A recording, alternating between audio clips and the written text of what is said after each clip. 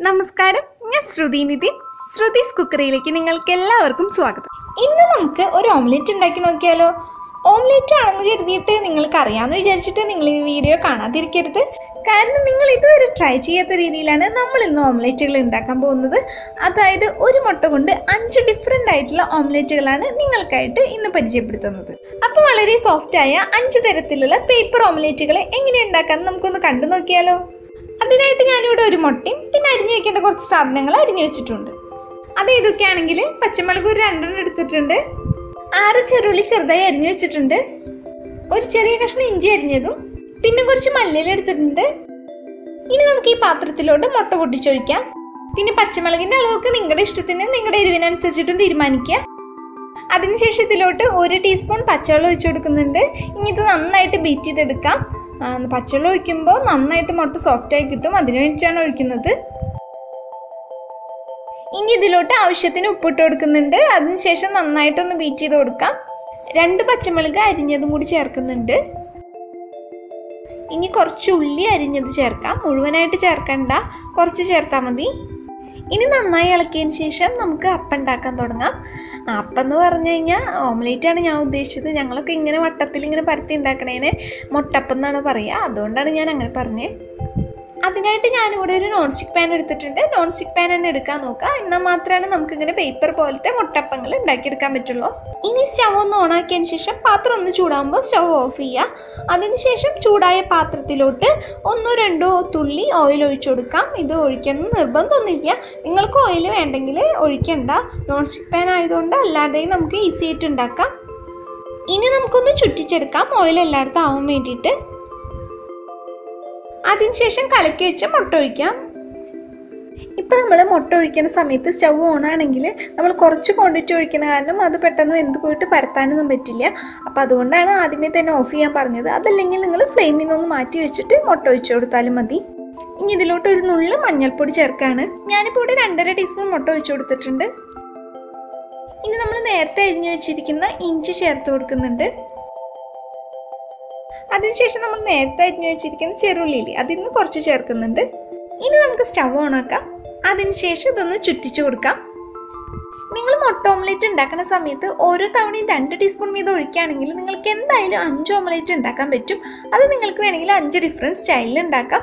അല്ലെങ്കിൽ ഒരേപോലത്തെ ഉണ്ടാക്കാം. അപ്പോൾ നിങ്ങളുടെ വീട്ടിൽ മുട്ടയുടെ എണ്ണം കുറവാണ്. അല്ലെങ്കിൽ കൂടുതൽ ഓംലേറ്റുകൾ നിങ്ങൾക്ക് വേണമെന്നുണ്ടെങ്കിൽ ഇതൊന്നും ഇങ്ങനെ ഉണ്ടാക്കി നോക്കാവുന്നേ ഉള്ളൂ.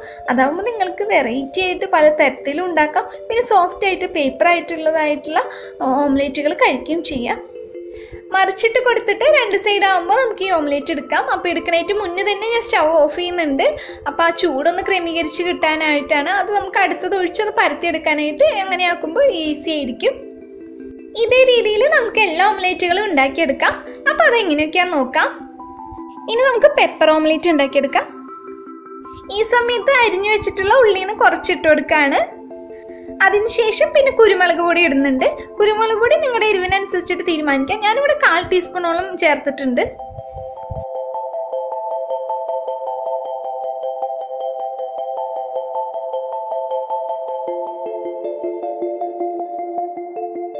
ഇനി ഉണ്ടാക്കാൻ പോകുന്നത് ഗ്രീൻ ഓംലേറ്റ് ആണ്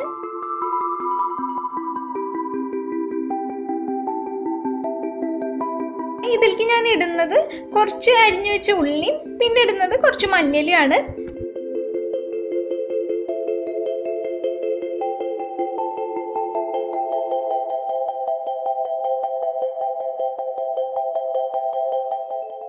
അടുത്തതായിട്ട് ചില്ലി ഓംലേറ്റ് ആണ് ഉണ്ടാക്കുന്നത്.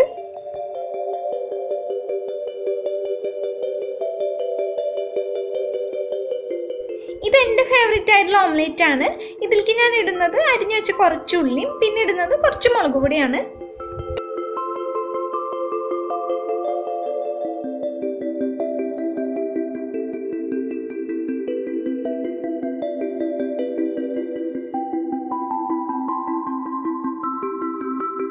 ഇപ്പൊ നമ്മുടെ നാല് ഓംലേറ്റുകളിലൂടെ റെഡിയാണ് ഇനി നമുക്ക് അഞ്ചാമത്തെ ഓംലേറ്റ് ഈസി ആയിട്ട് ഉണ്ടാക്കിയെടുക്കാം.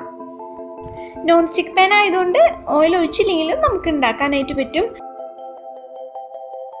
അവസാനത്തെ ഈ ഓംലേറ്റിൽ എനിക്ക് രണ്ട് ടീസ്പൂണിനേക്കാളും കൂടുതൽ മുട്ട ഒഴിക്കാനൊന്നും പറ്റിയില്ല.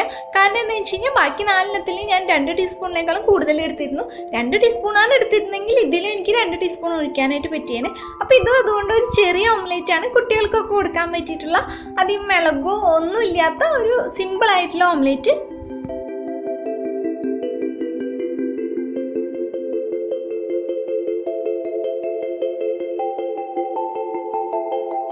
ഇപ്പൊ നമ്മുടെ അഞ്ച് ഓംലേറ്റുകൾ റെഡി ആയിട്ടുണ്ട്. ഇതിപ്പോൾ കാണാൻ തന്നെ നല്ല ഭംഗിയില്ലേ? അപ്പോൾ കാണുമ്പോൾ തന്നെ നിങ്ങൾക്ക് ഏതെങ്കിലും ഒന്ന് കഴിക്കാൻ തോന്നുന്നില്ലേ?